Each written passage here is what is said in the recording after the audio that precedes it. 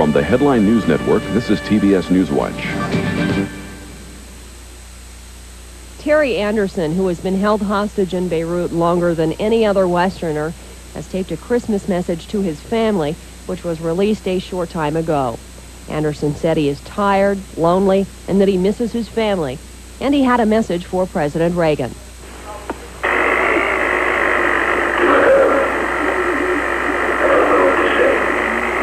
Know that you got to this out. I don't know exactly what it is you've been doing. I only know that it hasn't been enough for the right thing. His sister Peggy Say says the fact that her brother appears to be in good health is a Christmas present she has been praying for.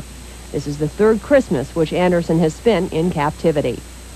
The search continues in southern West Virginia for Squeaky Fromme, the woman convicted of trying to kill President Ford 12 years ago. She escaped from the federal women's prison last night, but even bloodhounds have not picked up her tracks.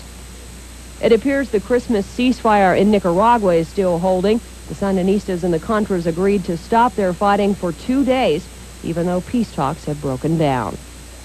And weather forecasters say most of the upper half of the nation will have a white Christmas, with a large storm system blanketing the west, midwest, and parts of the northeast. For Newswatch, I'm Judy Smith. For the Headline News Network 24 hours a day, call your cable operator.